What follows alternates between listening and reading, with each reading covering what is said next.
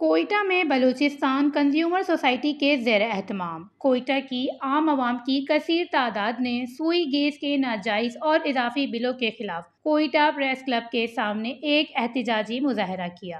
مظاہرین نے اپنے ہاتھوں میں ایس ایس جی سی کے جانب سے بھیجے گئے اضافی بل اٹھا رکھے تھے، جبکہ ایس ایس جی سی کے حکام کے خلاف شدید نعرے بازی بھی کی گئی۔ اس موقع پر مظاہرین کا کہنا تھا کہ ہم ایس ایس جی سی کے ناروا سلوک سے تنگ آ چکے ہیں اور ناجائز اضافی گیس بلوں کی وجہ سے لوگ خودکشیوں پر مجبور ہوتے جا رہے ہیں۔ وش نیوز سے بات کرتے ہوئے مظاہرین کا کہنا تھا ہماری آمدن اتنی نہیں جتنے ہمیں بل بھیجے جا رہے ہیں، جس کی وجہ سے ہم ڈاکہ مارنے یا پھر خودکشیوں پر مجبور ہیں۔ انہوں نے مزید کہا، احتجاجی مظاہرہ سوئی صدرن گیس کے ظالمانہ بلوں کے خلاف ہے۔ انہوں نے ایکسس بھیجے ہیں۔ دس پرسنٹ جو نا ایکچول بل بنتا ہے، لیکن انہوں نے نوے پرسنٹ اضافی بل بھیجوا دیا جو اور عوام مجبور ہوں گے کہ یہ بل جمع نہ کرے، بلکہ کر ہی نہیں سکتے ہیں۔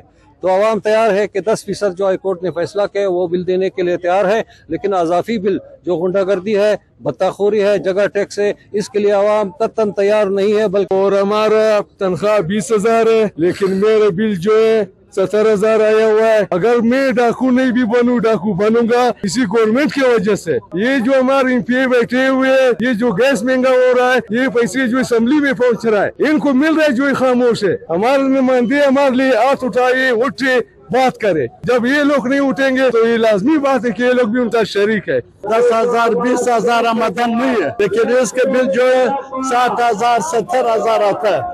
اتنا لوگ پریشان ہے اگر سارا عوام نکل گیا۔ نہ ادھر یہ دفتر رہے گا، نہ جیم رہے گا، نہ کوئی گیس والا رہے گا۔ کیوں؟ عوام مجبور ہے، در پدر ہے۔